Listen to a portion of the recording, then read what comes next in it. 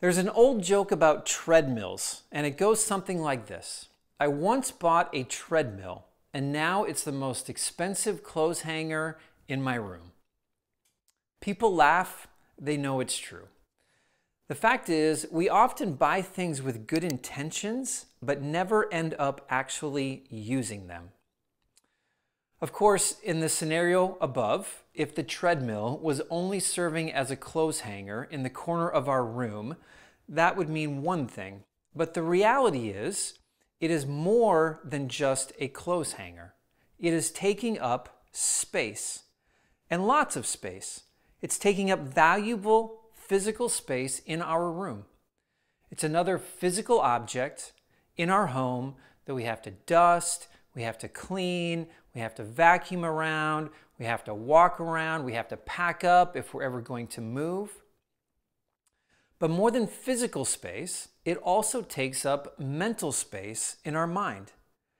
As Randy Alcorn says, every increased possession adds increased anxiety onto our lives. And this is totally true. That unused item, a treadmill, or anything else is visual clutter in your home. It calls for your attention every time you walk into the room. It surfaces guilt that you wasted money on it. It causes regret every time you see it. And it serves as a constant reminder that at some point you have to decide what you're going to do with it. Our unused items are not passive, they are active. They take up space, physical and mental. Which takes me back to the old adage about the treadmill. One time I bought a treadmill, and now it's the most expensive clothes hanger in my home. There's a lot of truth in that statement, maybe even more than we realize.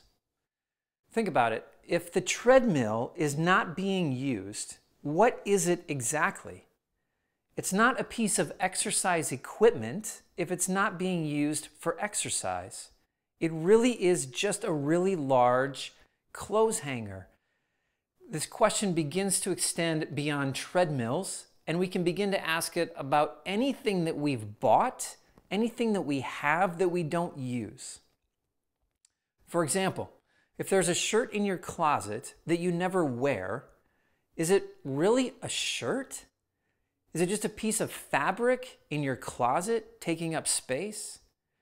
If there's a coffee mug in your cabinet and you haven't used it for the longest time to actually hold coffee, what is it? Just a piece of ceramic collecting dust. If there are tools in your garage that aren't being used, are they actually tools or just things taking up space? If the plastic spatula is never used, is it really used for cooking anymore, or is it just something you have to move every time you open up the drawer? Or what about a book? Like books are there for education or for entertainment. And if you're not using a book, if you're not reading it, isn't it just a bunch of papers bound together on a shelf? Desktop computer, you don't use it anymore. It's just a bunch of electrical components sitting on a desk somewhere if you never listen to the CDs, if you never use the camping gear, if you never use the old phones, if you don't know what these cords go to, if you never play that piano, if you never use the purse, if you never wear the shoes, it seems to me the items in our home should serve a purpose. They should be used for the reason we bought them. And if they're not, then they're no longer serving their purpose. They're only taking up space.